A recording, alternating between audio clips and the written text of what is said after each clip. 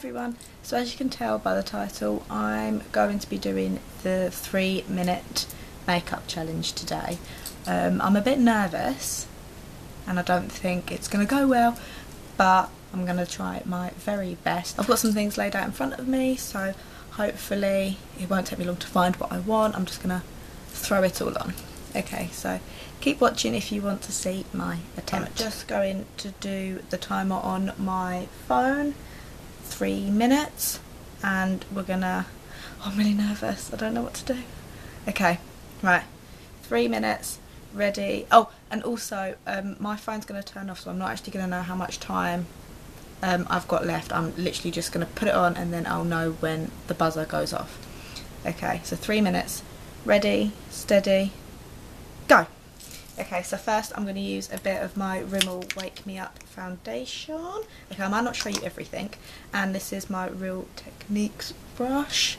Um, this is the Expert Face brush that I'm just going to be using because I find that it does a really nice coverage. It applies everything really nice and evenly. And, oh, and when you get your hair in your face, you know, it's all good. I just scratched myself. Oh, okay. Right, I'll get rid of my red nose. Okay. I'm probably going to get this all over my eyes, all over my lips, all over my eyebrows. But, you know. This is why girls don't rush. Because they end up hurting themselves and getting it everywhere. Okay. Oh no, I don't have a concealer. Okay. So this is powder, sorry, this is the Stay Matte Rimmel thingy majiggy. This is just a um, transparent one, so it won't really give me coverage, it will just mattify everything. Um, next I have hair in my face again. I have um, the Sleek Blush by 3 and I'm going to take the middle one. I don't know why I'm showing you this because I'm going to run out of time. I'm just going to apply this on the apples and sort of back towards back of my cheekbone, as you've probably seen me do before, or else I think it makes my cheeks look chubbier than what they are. Okay, I'm now going to, ooh, um, I'm curling my eyelashes. I really need to get a new one, this is really old.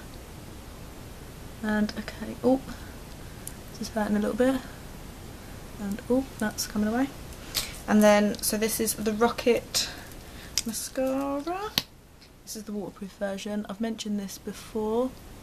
I think it was in a favourites actually I really like waterproof mascara now. And oh what is that hair doing sticking up? Okay. Oh I put myself in the eye. Oh oh oh, oh no it's all underneath. Oh no. Okay I'm not really rushing am I? Okay. And then lips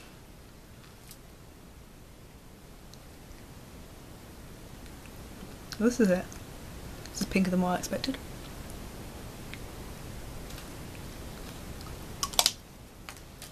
Oh, I've still got time. Okay, mascara. I'll try and sort that out a little bit. Oh, I might be able to do my brows as well. Okay. I should have bought... Oh!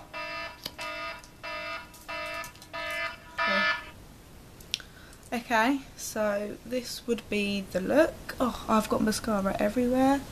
I do apologise. So, yeah, if you can see that, it is just everywhere.